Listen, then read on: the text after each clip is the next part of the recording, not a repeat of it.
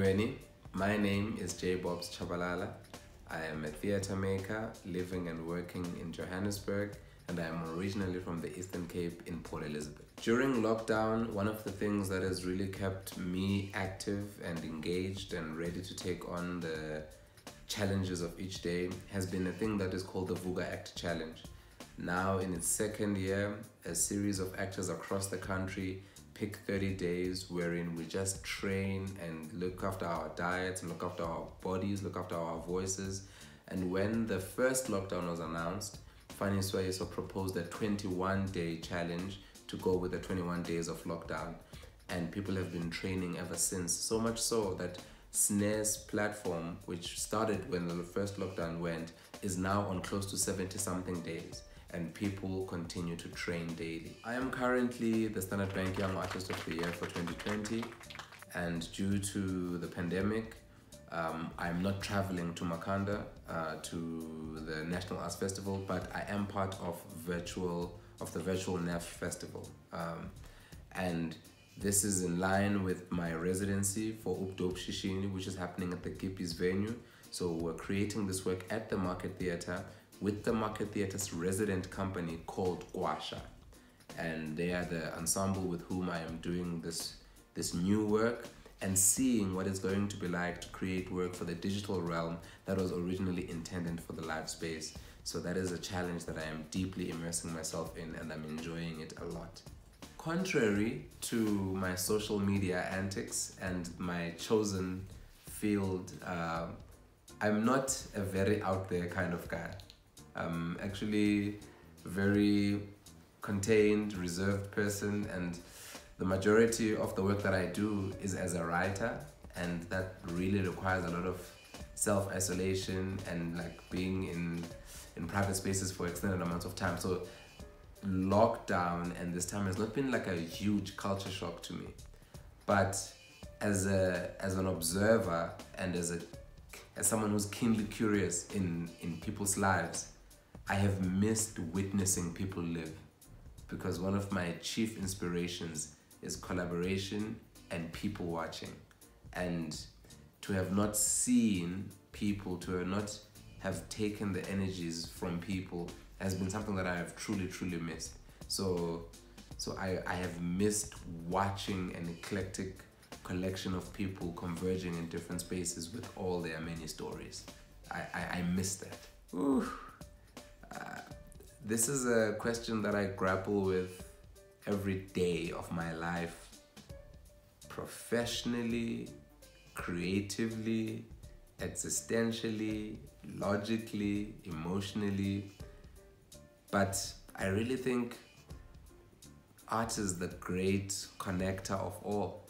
I, I think it's really one of the most amazing ways to learn about and to be interested in and to be curious around what people go through, how people live, and one of the best ways to express notions, ideas, and and to be able to call it a profession really gives me so much like I'm very humble to to be able to say I work as an artist. And without being without being in any way elitist, I think it is crucial to human existence because it shows us who we are and what we can become.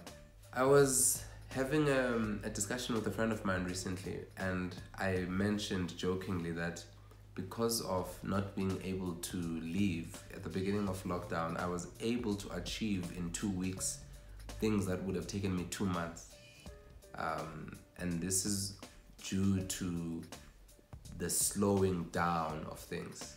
When when there were less meetings to attend, when there were less deadlines to be pressing, there was a lot more clarity and a lot more precision around approaching work. There is, particularly in the metropolitans, the business of busyness. And I have appreciated the reduction in busyness so many meetings that could have been emails are proving themselves to be exactly that. So many things that could have been a phone call are proving themselves to be exactly that.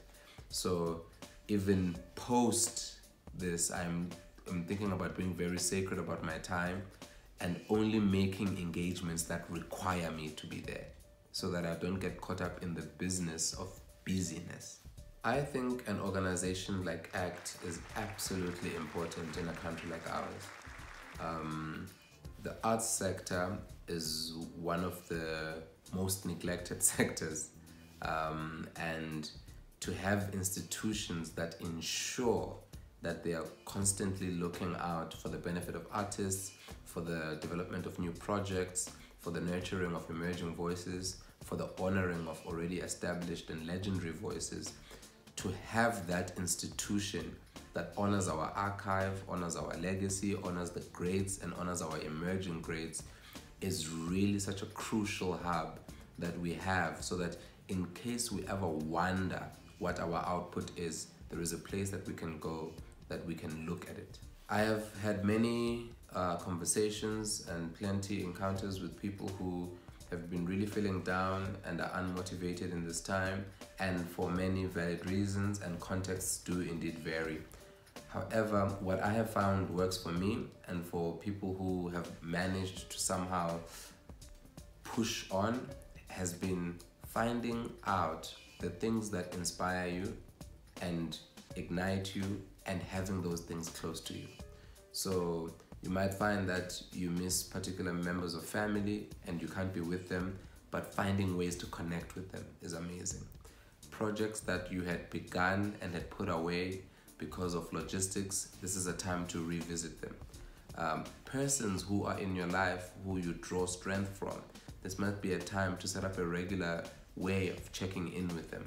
I think more than now more than ever, the necessity of community is so pronounced and having a good circle of people that are continuously being positive and continuously being generous is the best way to really keep motivated and inspired.